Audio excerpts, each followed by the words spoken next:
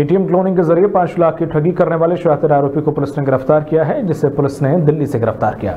आरोपी ठग शरद मिश्रा पर पुलिस ने पच्चीस हज़ार का इनाम घोषित कर रखा था।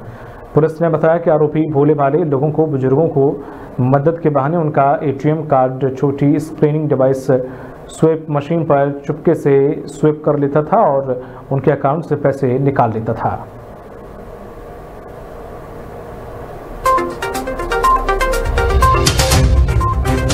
ये न, 2017 में यहाँ पे एटीएम फ्रॉड हुआ था जिसमें कि तीन मुलजिम थे।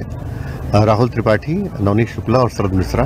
इसमें कि राहुल त्रिपाठी पहले गिरफ़्तार हो चुका था और नवनीत शुक्ला जो बीस हज़ार का इनामी था 2022 में हमारी टीम द्वारा गिरफ़्तार किया गया था। इसमें जो तीसरा अभियुक्त था शरद मिश्रा जो कि 2017 से लगातार फरार चल रहा था पुलिस की आँखों में धूल झोंक करके उसको पच्चीस उस पर पच्चीस हज़ार रुपये का इनाम था। और उसको जो है कल हमारी एसओजी की टीम और थाना पुलिस की टीम और ज़िले की पुलिस की टीम के द्वारा उसको कल गिरफ़्तार करके उसको जेल भेजा गया।